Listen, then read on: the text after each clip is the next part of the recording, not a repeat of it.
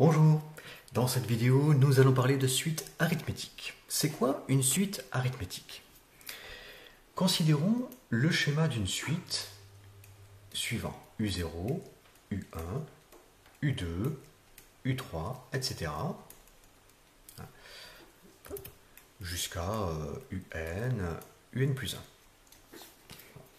Supposons que l'on ajoute un certain nombre R pour passer de U0 à U1 et qu'on ajoute toujours le même nombre pour passer d'un terme à l'autre.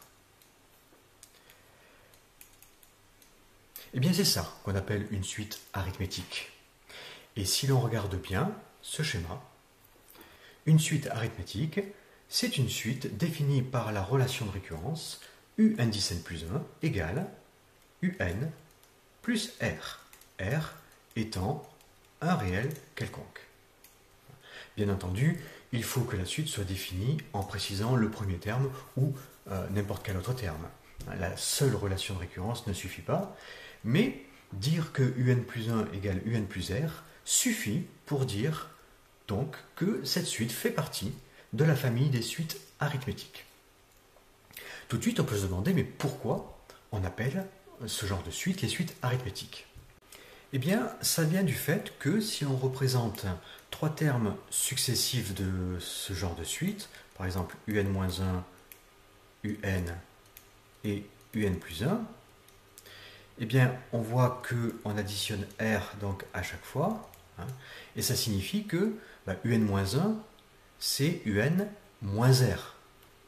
Donc, si on fait un-1 plus un plus 1 sur 2, eh bien, on voit que ça fait un moins r plus un plus r, puisque un plus 1, c'est bien un plus r. Et le tout divisé par 2, moins r plus r s'élimine, il nous reste 2 un sur 2, donc un. Donc on voit que un-1 plus un plus 1 sur 2 est égal à un, et quand on calcule un plus 1 plus un-1 sur 2, eh bien c'est comme si on faisait la moyenne arithmétique. Ça s'appelle comme ça en mathématiques, c'est la moyenne arithmétique de deux nombres. Ainsi, n'importe quel terme un est égal à la moyenne arithmétique des deux termes qui l'encadrent. Et c'est pour ça qu'on appelle ce type de suite les suites arithmétiques. Donc, une suite arithmétique, c'est une suite dans laquelle, pour passer d'un terme à l'autre, on additionne toujours le même nombre, que j'ai appelé ici petit r. Et ce nombre que l'on additionne est appelé la raison de la suite. Avoir la relation de récurrence d'une suite arithmétique, c'est bien, mais c'est un petit peu problématique si l'on veut déterminer la valeur de u indice 1000 par exemple. Car si on veut calculer u indice 1000 en n'ayant que la relation de récurrence, il faudrait calculer successivement u1, u2, u3, u4, u5, etc. jusqu'à u1000. Ça peut être assez long. Donc ce qui nous intéresse, c'est d'obtenir une formule qui nous donne directement le millième terme, ou plus généralement le nème terme. Ça, c'est ce qu'on va appeler avoir le terme général de la suite, de façon explicite. Donc on aimerait avoir une formule explicite, c'est-à-dire, en fait, exprimer un comme étant une fonction de n, justement. Alors pour ce faire, eh bien, on va observer ce qui se passe sur le schéma.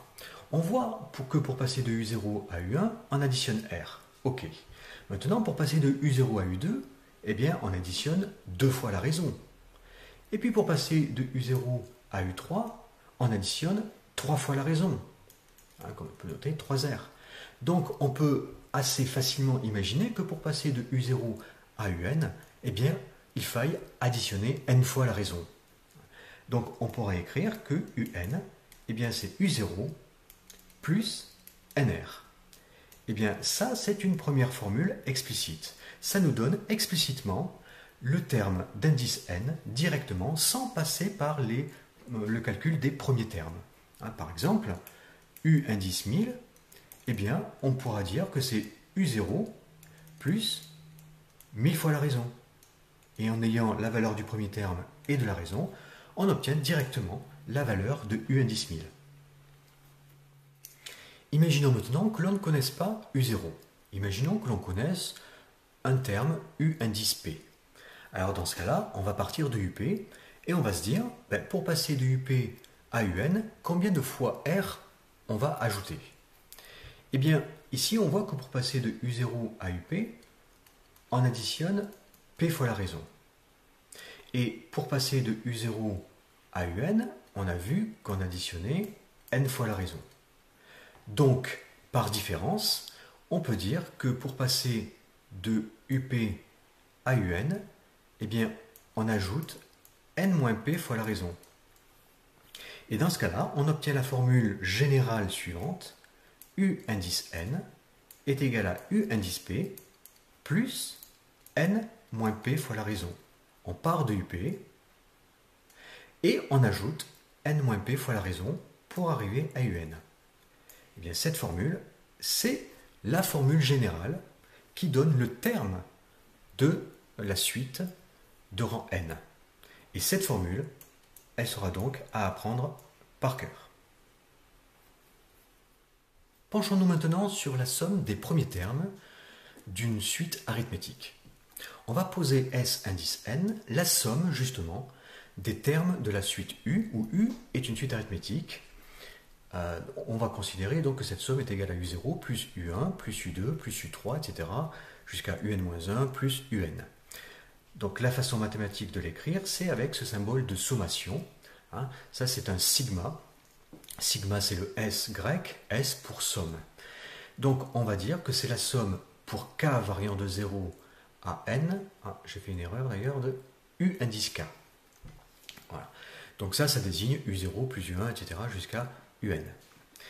Eh bien, cette somme-là, elle est égale à U0 plus U1, on a dit que c'était U0 plus R, hein, si on remplace par sa définition.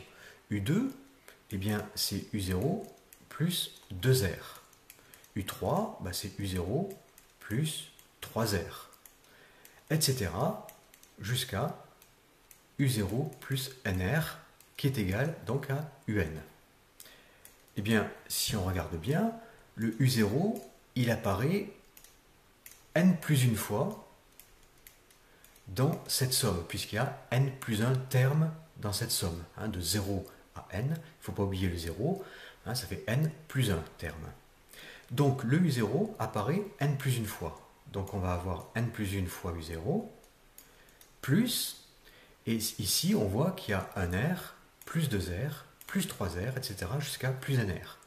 Hein, donc on a R, plus 2R, plus 3R, etc jusqu'à NR. Eh bien, ça, on peut l'écrire comme étant 1 plus 2 plus 3 plus etc. plus n fois la raison. Hein. On factorise par r la deuxième partie. Et l'objectif, c'est justement de voir à quoi peut être égale euh, cette somme, 1 plus 2 plus 3 plus 4 plus 5 jusqu'à n, de façon à euh, exprimer cette somme de façon plus simple. Alors là, on va faire un petit aparté, on va aller euh, sur notre page, et on va faire ce qu'a fait euh, le mathématicien Carl Friedrich Gauss. On va considérer que 1 euh, plus 2 plus 3, etc., plus n-1 plus n est égal à Sn. on va faire S', n, hein, pour ne pas confondre avec l'autre Sn. Si on écrit cette somme à l'envers, ça nous fait n plus n-1 plus n-2 plus, etc. jusqu'à 2 plus 1. Et si on additionne euh, ces deux égalités, donc ça nous fait 2 fois S' m qui est égal à... Alors on voit ici que 1 plus n, ça fait 1 plus n. Bon.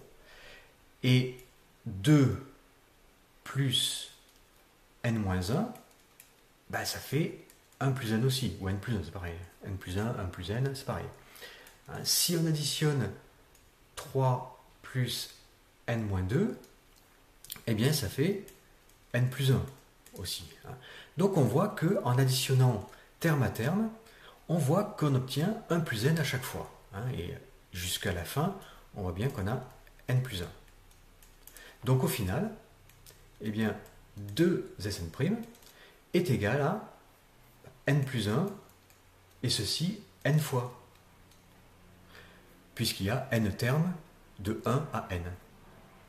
Donc, S'(n) est égal à n facteur de n plus 1 sur 2.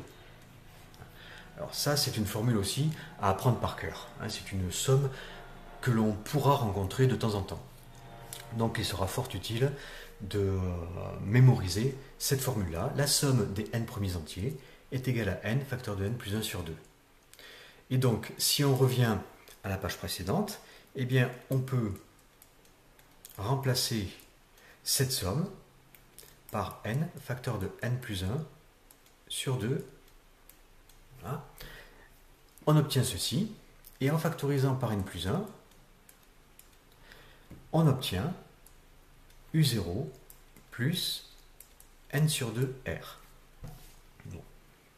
Alors ceci, je vais l'écrire sous la forme n plus 1 fois, alors le U0, je vais dire que c'est 2U0 sur 2, plus NR sur 2. Comme ça, je mets tout au même dénominateur ici. Donc là, ça va me donner, comme je n'ai pas trop de place, je préfère l'écrire comme ça, ça va me donner 2U0 plus NR sur 2. Mais 2U0 plus NR, bah, je peux le voir comme étant, enfin le 2U0 surtout, je peux le voir comme étant U0 plus U0. Donc je vais l'écrire comme ça. Le 2U0 ici, voilà, je vais l'écrire comme étant U0 plus U0. Et si je fais ça, c'est parce que là, je vois U0 plus NR. Et U0 plus NR, eh bien, c'est UN. Donc le U0 plus NR qu'il y a ici, je peux le voir comme étant U indice N. Ah, voilà, U indice N. Et donc au final, j'obtiens la formule qui nous donne la somme des n plus 1 premiers termes d'une suite arithmétique. La somme des n plus 1 premiers termes d'une suite arithmétique, eh bien c'est n plus 1, c'est-à-dire le nombre de termes qu'il y a dans la somme, multiplié par u0 plus un sur 2, c'est-à-dire la moyenne du premier et du dernier terme. Donc ça, on pourra le voir comme étant le nombre de termes multiplié par la moyenne du premier et du dernier terme. Bon, j'ai très peu de place. voilà. Mais si on veut retenir cette formule, eh bien, il vaut mieux euh, la retenir comme ça, hein, en, en, comprenant euh, ce qu'elle signifie. C'est le nombre de termes dans la somme multiplié par la moyenne du premier et du dernier terme de la somme.